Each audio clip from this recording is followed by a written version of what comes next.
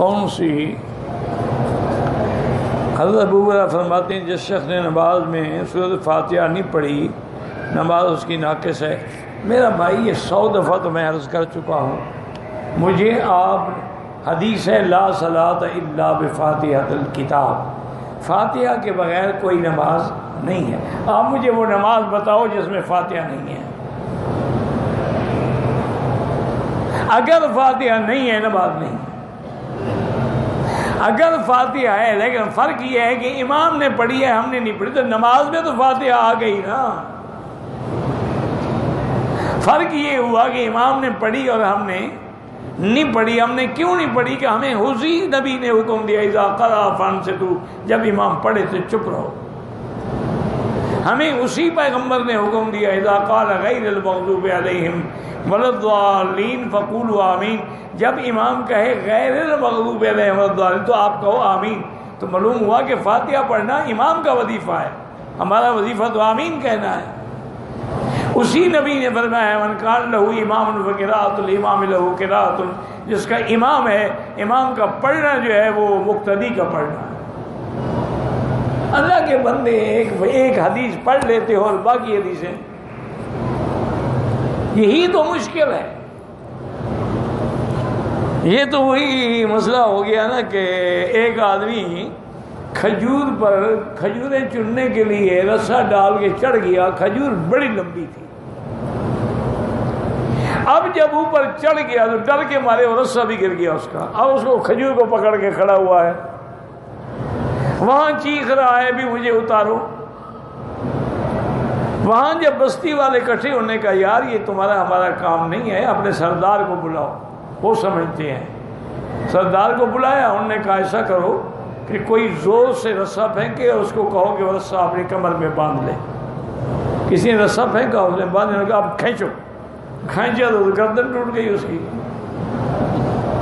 انہوں نے کہا، سردار صاحب اچھا تم نے عمل کیا۔ انہوں نے کہا، یار، ایسے کئی دفعہ ہم نے کنویں سے لوگ نکالے ہیں۔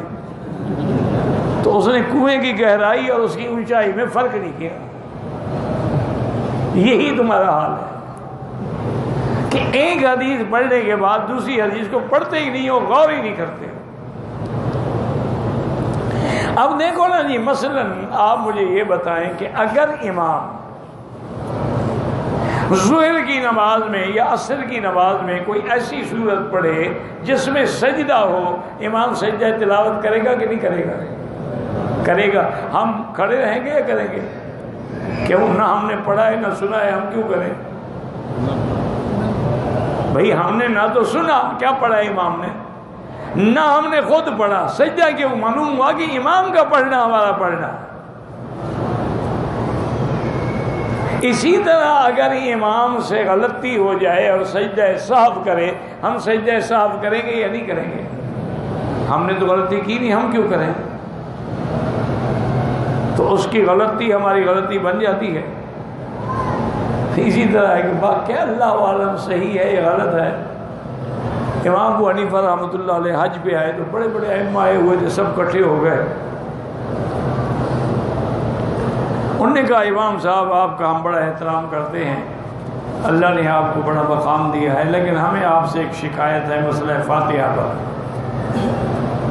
ہم اس مسئلے پر آپ سے بات کرنا چاہتے ہیں۔ تو امام صاحب نے فرمایا کہ انہوں نے کہا کہ بھئی یہ کوئی تم کہتے ہو کہ فاتحہ مقتدی نہ پڑھ اب میں دیکھو بات سنو، تم پانچ چھ آدمی ہو، میں کس کس سے بات کروں؟ پہلے فیصلہ کر لو، ایک کو بڑا بناؤ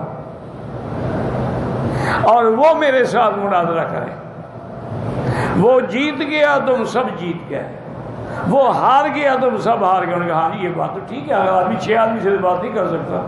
انہوں نے کہتے ہیں شاید کہ امام اوزائی کو بڑا بنایا تو جب یہ بات طے ہوگی تو ہم نے فرمایا کہ تم تو مناظرہ پہلے ہی ہار گئے ہو مناظرہ کرنے کی ضرورت ہی نہیں ہے۔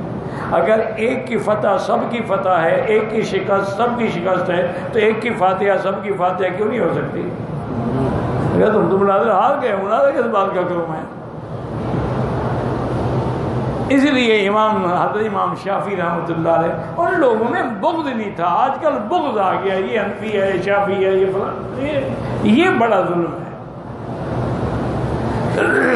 امام شافی رحمۃ اللہ علیہ فرماتے تھے کہ اللہ نے ابو حنیفہ کو اتنا عقل دیا ہے، اگر اس ستون کے بارے میں بھی وہ کہہ دیں نا کہ یہ سونے کا ہے تو ثابت کر دیں اتنا اللہ نے ان کو دلائل دی ہے اور عقل دیا ہے۔ تو بہرحال جھگڑا نہ کیا کرو، حنفی مسلک میں فاتحہ امام کے پیچھے نہیں ہے۔